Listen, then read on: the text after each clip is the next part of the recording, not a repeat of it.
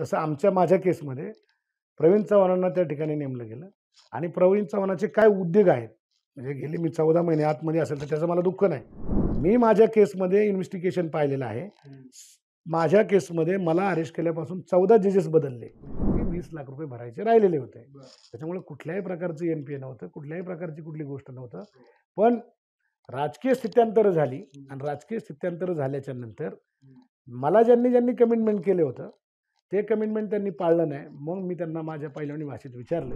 पण तुम्ही आता ज्या केसमध्ये तुरुंगामध्ये होता ती केस होती शिवाजीनगर भोसले शिवाजीराव भोसले सहकारी बँकेची होती त्याच्यामध्ये तुमच्यावर असे आरोप होते की तुम्ही- पण तिथं बेनामी लोकांवरती कर्ज घेतले ते कर्ज फेडले गेले नाही बँकेला जवळपास सत्तर ऐंशी कोटी रुपयाला तुम्ही फसवलं.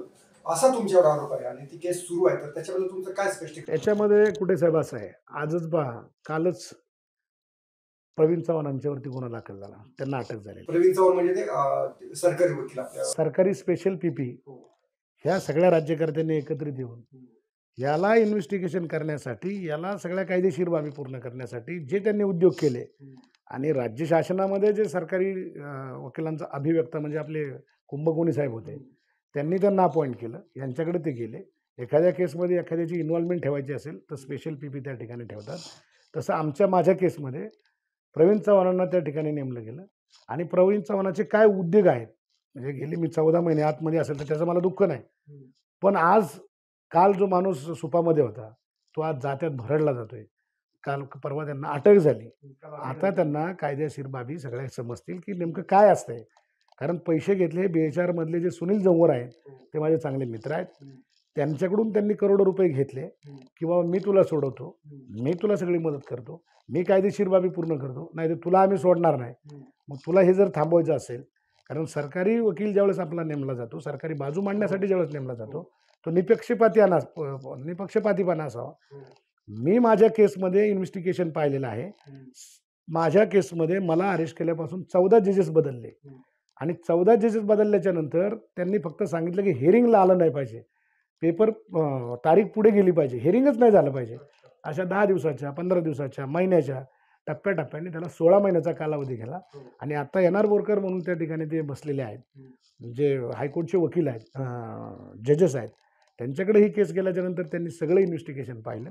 माझ्यावर एकंदरीत आठ गुन्हे दाखल होते. त्यांनी एक तासाच्या इन्व्हेस्टिगेशनमध्ये आबाद पोंडा अशोक मुंदरगी अनिकेत निकम हे कायदेतज्ञ असणाऱ्या या सगळ्या माणसांनी ज्या बाजूने माझा युक्तिवाद केला त्याच्यावरती कोर्टाचं प्रथमदर्शनी असंच म्हणणं आलं की दहा लाख रुपये यांचे भरून घ्या आणि भोसले सहकारी बँकेमध्ये माझं जे प्रकरण आहे ते माझं आणि माझ्या पत्नीच्या नावाने लोन होतं. ते लोन आजही क्लिअर आहे. दोन कोटीचं जर लोन होतं तर त्याला दहा कोटीची प्रॉपर्टी मॉर्गेज होती. आणि मॉर्गेज असून पण त्याच्यामध्ये फक्त वीस लाखाचा प्रश्न होता की वीस लाख रुपये भरायचे राहिलेले होते. त्याच्यामुळे कुठल्याही प्रकारचं एन पी ए नव्हतं कुठल्याही प्रकारची कुठली गोष्ट नव्हतं. पण राजकीय स्थित्यांतर झाली आणि राजकीय स्थित्यांतर झाल्याच्यानंतर मला ज्यांनी ज्यांनी कमिटमेंट केलं होतं ते कमिटमेंट त्यांनी पाळलं नाही. मग मी त्यांना माझ्या पहिल्यानी भाषेत विचारलं की एखाद्या राज्यकर्त्याला तुम्ही जर कमिटमेंट करता तुम्हाला पाळता येत नसेल तुम्ही राज्याचे नेते देशाचे नेते मला काय देशी घेणं त्यांना पण एखाद्या कार्यकर्त्याला ज्यावेळेस तुम्ही विश्वासा विश्वासाने शब्द देता त्यावेळेस तुमची सुद्धा त्या ठिकाणी तुम्हाला सुद्धा ते बाइंडिंग आहे की तुम्ही त्या ठिकाणी ते एक्झिक्यूट केलं पाहिजे. ओके त्याच्यावर आपण येऊ पण. त्याच्या आधी हे जे शिवाजीनगर भोसले बँकेचे जे सगळं प्रकरण होतं मग तुम्ही म्हणजे तुम्हाला जामीन मिळाला. तुम्ही काही निर्दोष नाही आहे. बरोबर? तो निर्दोषत्व किंवा आरोप तो सगळे कायदेशीर कायदेशीर कायदेशीर बाबी होती.